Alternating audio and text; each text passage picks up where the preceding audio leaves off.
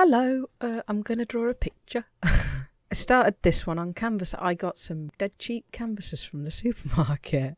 The supermarket, which has a an aisle down the centre of it, which sells things like sink drainers and routers and cushions and, in this case, canvases. So I was able to pick up a couple of canvases. It's really nice. It's about the length of a piece of A3 paper, but it's also square, so it's A3 all round, which gives you lots of nice room to do a picture on. So I got this one off Commander Marko two six one two. This um, this screenshot. It's from the recent re reburning of the stations. I'm not sure whether that's a thing we'd call that. A recent CG where uh, there was lots of lots of stations needed repairing after suspicious attacks. And so I thought, well, actually, I really enjoy doing paint every now and again. And I thought, well, see if I can just do this one with paint and uh, try and avoid using chalk at all. Anyway, so so far at this stage, and in fact, actually, all the way through, I did manage to avoid using chalk. So I was quite pleased with myself, really. It's quite nice though, because even though acrylic is is not the greatest paint, it dries really quickly. It's dead easy to use. The good thing about it is that you, you can do really good details because you just choose a smaller paintbrush and you, that's not necessarily always that easy with chalk. It's quite a faff. I say acrylic's not the greatest because it kind of looks dull when it's done. The paint colour that you put on, when it dries out, the colours darken quite a bit. So you've got to kind of bear that in mind.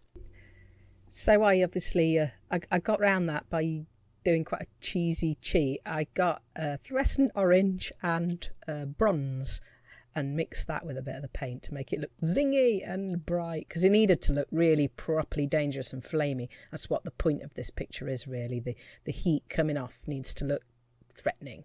I wanted to give it that effect. So I, I thought, well, I'll see if Marko2612 fancied saying anything about it. And this is fabulous because I have a little bit of audio, which is wonderful, all about actually doing the missions. And I think it sounds better if it's if it's coming from the commander who's actually taking the picture. It's more immediate and meaningful.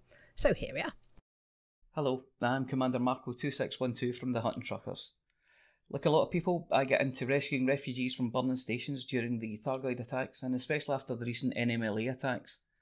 Regardless of whether you support the Empire, Federation, Alliance, or someone else, Rescues are a great way to help other people out.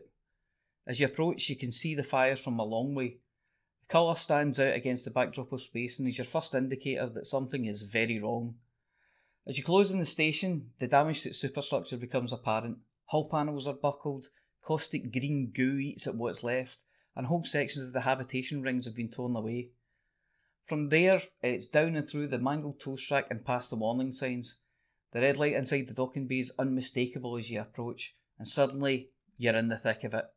Trying to steer an orca onto a landing pad while avoiding floating wreckage and being buffeted by explosions, with a soundtrack of heat warnings, panicky radio chatter, and blaring station sirens, makes for very dramatic and exciting gameplay.